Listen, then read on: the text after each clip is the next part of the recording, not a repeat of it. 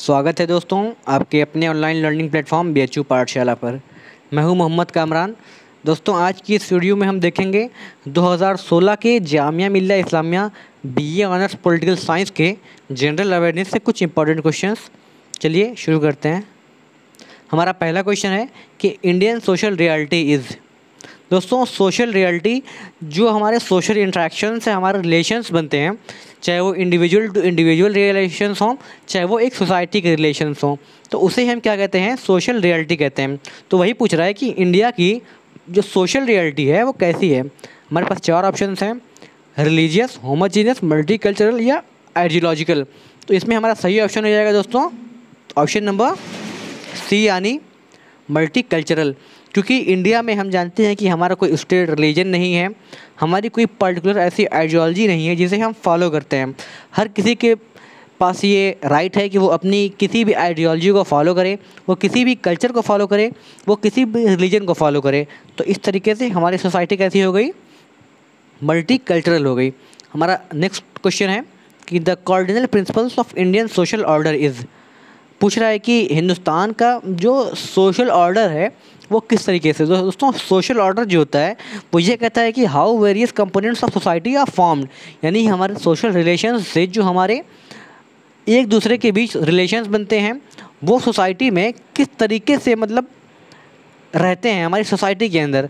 तो हमारे पास ऑप्शन हैं कि tolerance and consensus B diversity and conflict C conflict and consensus या डी नन ऑफ़ दीज इसमें हमारा सही ऑप्शन कौन सा हो जाएगा दोस्तों? Option number A that is tolerance and consensus क्योंकि हम जानते हैं कि हिंदुस्तान के लोगों के अंदर सहनशीलता भी बहुत है और कंसेंशियस एक एग्रीमेंट होता है among the people which says that people want to live together तो इस तरीके से हिंदुस्तान के अंदर टॉलरेंस एंड कंसेंशियस बिल्कुल है, इसीलिए हमारा सही जवाब ऑप्शन नंबर ए हो जाएगा। अपना नेक्स्ट क्वेश्चन देखते हैं। Groups demanding reservation because of हमारे यहाँ लोग आरक्षण की मांग क्यों करते हैं? हमारे पास ऑप्शन हैं। Preservation of religious identity B discrimination C preservation of caste identity या D preservation of linguistic identity हमारा सही ऑप्शन हो जाएगा ऑप्शन नंबर बी यानी डिस्क्रिमिनेशन दोस्तों, लोग रिजर्वेशन इसीलिए मांगते हैं क्योंकि उन्हें लगता है कि उनके साथ किसी न किसी वजह से डिस्क्रिमिनेशन हुआ है। और वो डिस्क्रिमिनेशन रिलीजियस आइडेंटिटी की वजह से भी हो सकता है, आपकी कास्ट आइडेंटिटी की वजह से भी हो सकता है, और आपकी जो लिंग्विस्टिक आइडेंटिटी है, उसकी वजह से भी हो सकता है। और कोई भी इन आइडेंटिटीज़ की वजह से, जिसकी वजह से आपको डिस्क्रिमिनेट किया गया है, उसको प्रिजर्व नहीं करना चाहता। खासकर तब जब वो सोशल आइडेंटिटीज़ जो होती हैं, वो सोशली कंस्ट्रक्ट होती हैं।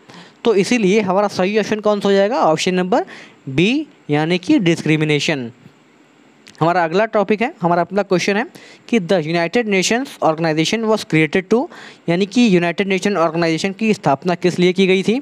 ऑप्शन हमारे पास हैं A promote international peace B check the spirit of communism C to help the developing countries या D protect the US interest हमारा सही ऑप्शन इसमें हो जाएगा दोस्तों option number A that is to promote international peace क्योंकि United nation organisation एक ऐसा इंस्टीट्यूशन है, जो कि वर्ल्ड वॉर टू के बाद 24 अक्टूबर 1945 को सैन फ्रांसिस्को में बनाया गया। इसका मोटो क्या था कि हमें सोशल प्रोग्रेस को प्रमोट करना है। और ह्यूमन राइट्स को प्रमोट करना है। और जो कंट्रीज़ वर्ल्ड वॉर टू में एक दूसरे के ख़िलाफ़ लड़ रही थी, उनके बीच एक कॉर्डियल और फ्रेंडली रिलेशन को बनाना है बिल्ड करना है। तो ये हमारा रीज़न था यूनाइटेड नेशन ऑर्गेनाइजेशन के बनाने का। अच्छा अब आप लोग को मुझे ये कमेंट सेक्शन में बताना है कि आज के वक्त यूनो का हेडक्वार्टर कहाँ पे है। और दूसरा ही ऑप्शन नंबर सी हमारा जो है कि to help the developing countries इससे एक क्वेश्चन बन सकता है कि वर्ल्ड ये वर्ल्ड बैंक रिलेटेड क्वेश्चन है। तो वर्ल्ड बैंक की स्थापना ये कंट्रीज़ को डेवलपिंग कंट्रीज़ को हेल्प करने के लिए बनाया गया था। किसके बाद? ब्रिटेन वुड कॉन्फ्रेंस के बाद। ये बात आप लोग याद रखिएगा। अगला क्वेश्चन है हमारा। Who is considered to be the architect of Indian constitution यानी भारतीय संविधान का मेन आर्किटेक्ट किसे माना जाता है? हमारे पास ऑप्शन हैं जवाहरलाल नेहरू, महात्मा गांधी, राजेंद्र प्रसाद या बी आर अंबेडकर इसका सही ऑप्शन हमारा हो जाएगा दोस्तों डॉक्टर बी आर अंबेडकर ये हमारे ड्राफ्टिंग कमेटी के चेयरमैन भी थे। जवाहरलाल नेहरू, हम सब जानते हैं। हमारे पहले पीएम राजेंद्र प्रसाद, हमारे पहले राष्ट्रपति और महात्मा गांधी ने दोस्तों अपने आप को कॉन्स्टिट्यूंट असेंबली से दूर रखा था। हालाँकि इनके जो प्रिंसिपल्स हैं, वो कॉन्स्टिट्यूंट असेंबली में डिस्कस किए गए और उनके ऊपर हमारे बहुत से जो प्रोविज़न्स संविधान में हैं, वो लाए गए। चलते हैं अपने अगले क्वेश्चन की तरफ़, जो कि है कंसिडर द फॉलोइंग स्टेटमेंट हमारी पहली स्टेटमेंट है right to freedom right to education right to employment और राइट टू फ़ूड पूछ रहा है कि इन सब में से ह्यूमन राइट्स कौन कौन से हैं? तो हमारा सही जवाब हो जाएगा कि ऑप्शन नंबर डी यानी कि ये तीनों जो हमारे ऑप्शन हैं, वो ह्यूमन राइट्स हैं। अच्छा ह्यूमन राइट्स क्या होते हैं? वो कुछ मॉरल प्रिंसिपल्स होते हैं which every individual of the planet is entitled of without any form of discrimination जैसे कि हमारे पास अगर एजुकेशन का राइट नहीं है तो वो हमारे मॉरल प्रिंसिपल्स को छीनता है। अगर हमारे पास एम्प्लॉयमेंट अपॉर्चुनिटीज़ नहीं है तो वो एक ह्यूमन राइट्स का हमारे वायलेशन है। अगर हमारे पास फ़ूड अपॉर्चुनिटीज़ नहीं है, हमारे पास फ़ूड नहीं मिलता है हमें तो हमारे ह्यूमन राइट्स का वो वायलेशन है। इस तरीके से ये हमारा ऑप्शन डी बिल्कुल सही हो जाएगा। हमारा अगला ऑप्शन है कि in India a minority is identified on the basis of यानी कि हिंदुस्तान में माइनॉरिटी कॉन्स्टिट्यूशन के अकॉर्डिंग किन किन बेसिस पर दी जाती है। हमारा ऑप्शंस इसमें हमारा ऑप्शन नंबर बी सही हो जाएगा that is either language or caste इसके अलावा किसी भी फॉर्म की माइनॉरिटी हमारे कॉन्स्टिट्यूशन में आइडेंटिफाई नहीं की जाती है। हमारा अगला क्वेश्चन दोस्तों है कि which of the following is not an agency of socialization इनमें से सोशलाइजेशन की एक कौन सी ऐसी इकाई नहीं है? हमारे पास ऑप्शन हैं फैमिली स्कूल मास मीडिया या हॉस्पिटल इसका सही ऑप्शन दोस्तों हो जाएगा हॉस्पिटल, क्योंकि हॉस्पिटल में हम अपने आप को सोशलाइज करने तो नहीं जाते हैं, बल्कि अपना मेडिकल ट्रीटमेंट्स के लिए जाते हैं। लेकिन फैमिली, हमारी जो बेसिक यूनिट है सोशलाइजेशन की, क्योंकि हम एक सोशल एनिमल तभी बन पाते हैं जब हमारी फैमिली ने हमको उस तरीके से ट्रीट किया होता है। दूसरी स्कूल, फैमिली के बाद दूसरा इंस्टीट्यूशन हमारा स्कूल है और तीसरा मास मीडिया के थ्रू भी हम अपने आप को सोशलाइज करते हैं। इसलिए ये तीनों ऑप्शंस यहाँ पर नहीं सही होंगे। हॉस्पिटल हमारा ऑप्शन सही हो जाएगा। नेक्स्ट क्वेश्चन हमारा है कि the Jamia Millia Islamia was establish to हमारे पास ऑप्शन हैं protect the interest of Muslims B protest against the British system of education C promote Muslim education या D all of the above हमारा सही ऑप्शन इसमें हो जाएगा दोस्तों protest against the British system of education क्योंकि जामिया मिल्ला इस्लामिया की स्थापना जो ब्रिटिश सिस्टम ऑफ़ एजुकेशन था, उसकी खिलाफत करने के लिए ही की गई थी, जो कि अलीगढ़ मुस्लिम यूनिवर्सिटी से सेपरेट कर कर एक नई यूनिवर्सिटी की नींव रखी गई, जो हम जामिया मिलिया इस्लामिया जिसे आज जानते हैं। इसकी स्थापना 1920 में की गई। इसके फाउंडिंग फादर्स जैसे कि डॉक्टर जाकिर हुसैन, हकीम अजमल ख़ान, महात्मा गांधी, ये लोग थे। इसके पहले वीसी मौलाना मोहम्मद अली जौहर थे। चलते हैं अपने अगले क्वेश्चन की तरफ़। That is inclusive growth as initiated in the eleven fifth year plan does not include one of the following हमारे पास चार ऑप्शन हैं। हमारा सही ऑप्शन इसमें हो जाएगा दोस्तों। Option number D that is reduction in the gender inequality तो जो एलेवन फिफ्थ ईयर प्लान था, उसमें ये प्रोविज़न नहीं था कि रिडक्शन ऑफ़ जेंडर इनक्वालिटी ये प्रोविज़न नहीं था, इसलिए हमारा सही ऑप्शन ऑप्शन नंबर डी हो जाएगा। हमारा नेक्स्ट क्वेश्चन है। The aim of basic education as per the dream of Gandhi ji is to one create a classless society B create a Sarvodaya society three create a society representing all region या फिर fourth create a society where a rich and poor can live together तो हमारा सही इसमें option कौन सा हो जाएगा दोस्तों? ऑप्शन नंबर बी क्योंकि गांधी जी के हिसाब से हमारे बेसिक एजुकेशन का जो रीज़न था, वो यही था कि हम एक सर्वोदय सोसाइटी बनाएँ। एक सोसाइटी ऐसी बनाएँ जो हर धर्म को समान मानती हो, हर धर्म की इज़्ज़त करती हो। और तीसरी चीज़ की ऐसी समाज जहाँ पर गरीब और अमीर के बीच में कोई अंतर ना हो। ये बेसिक एजुकेशन का हमारे जो गांधी जी के द्वारा ड्रीम किया गया था। हमारा अगला क्वेश्चन है कि Valmiki Ambedkar Awas Yojana is mean for अच्छा दोस्तों, इससे पहले ये बता दूँ मैं कि हमारा एटी नाइन्थ क्वेश्चन जो है कि जामिया मिल्ला इस्टेब्लिश क्यों किया गया था? ये सवाल हर साल पूछता है, इसको आप लोग रट ले तो ही बेहतर होगा। चलते हैं अपने नाइन्टी सेकेंड क्वेश्चन की तरफ़। That is Valmiki Ambedkar Awas Yojana is mean for a fighting caste system removal of manual scavenging reduction in poverty and increase in employment या डी प्रमोटिंग अंबेडकर फिलोसफी इसका सही जवाब हो जाएगा हमारा दोस्तों।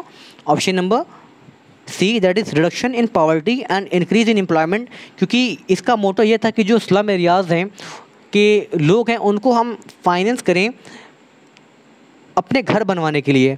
जिससे क्या होगा कि एम्प्लॉयमेंट भी बढ़ेगा और उन्हें एम्प्लॉयमेंट अपॉर्चुनिटी अपॉर्चुनिटीज़ भी दें और जिससे क्या होगा उनकी पावर्टी में रिडक्शन होगा। तुम्हारा सही जवाब ऑप्शन नंबर सी हो जाएगा। अगला क्वेश्चन हमारा है कि Man ki Baat is mean for हमारा ऑप्शन है promotion of an ideology B making election propaganda C connecting with the masses या डी क्रिटिसाइजिंग द अपोजिशन दोस्तों देखिए थोड़ा सा ये साइकोलॉजिकल क्वेश्चन है कि आप अगर थोड़ा सा ज़्यादा एंटी गवर्नमेंट होंगे तो आप गलत भी कर सकते हैं इसको, वरना इसका सही सवाल जो है, जो इसका ऑप्शन हो जाएगा C that is connecting with the masses Man ki Baat जो हमारे प्रधानमंत्री मोदी करते हैं उसका मेन रीज़न यही होता है कि वो मासेस के साथ ज़्यादा से ज़्यादा कनेक्ट कर सकें। इसीलिए हमारा सेकेंड थर्ड ऑप्शन सही हो जाएगा। किसी आइडियोलॉजी को प्रपोर्ट करना या इलेक्शन प्रोपेगेंडा करना या अपोजिशन को क्रिटिसाइज़ करना, इसका मेन मोटो नहीं है। इसका मेन मोटो मासेस के साथ जुड़ना है। अपने अगले क्वेश्चन की तरफ़ चलते हैं कि Nirbhaya fund was incorporated for Nirbhaya fund की स्थापना किस लिए की गई थी? हमारे पास ऑप्शन है, हर कोई जानता है कि meeting the legal expense of rape victim protecting the